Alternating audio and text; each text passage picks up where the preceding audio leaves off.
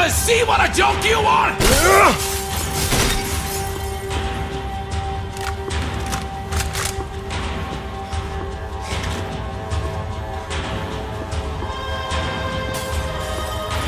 Those ceiling tiles looked kind of loose.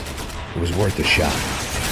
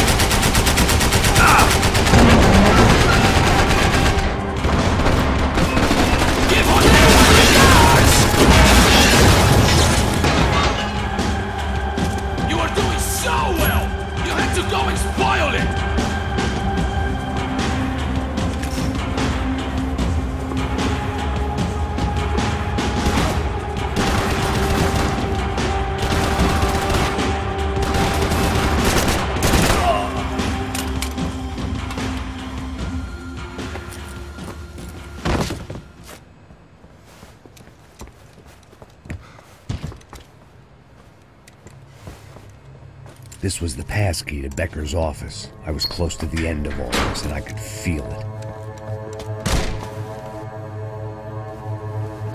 Becker!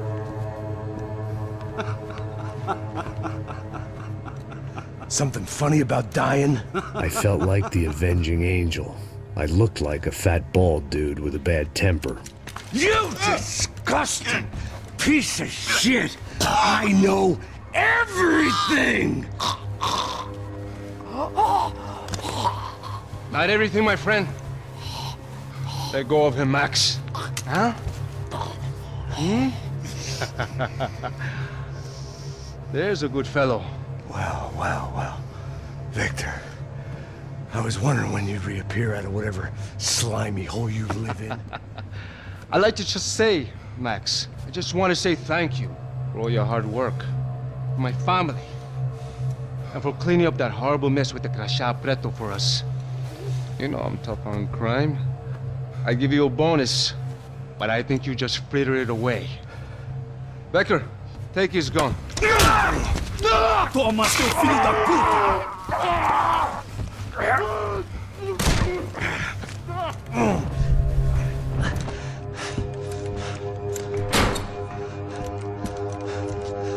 They had barred the door. My only hope was to chase them down. I knew they'd be leaving town, and my guess is they would try to fly out of here.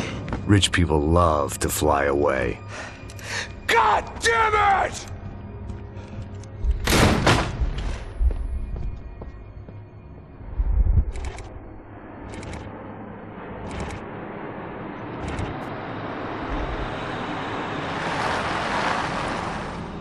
Okay, Max. Now you check the main terminal. I'm gonna go and look for the Branco plane by the hangar, okay? Let's do it. You keep an eye out in there.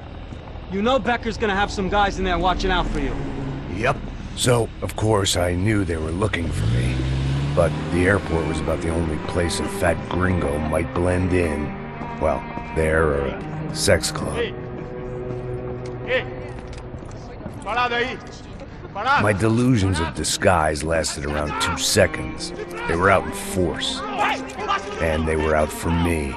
But then, I was out for them too. Every last one of those bastards.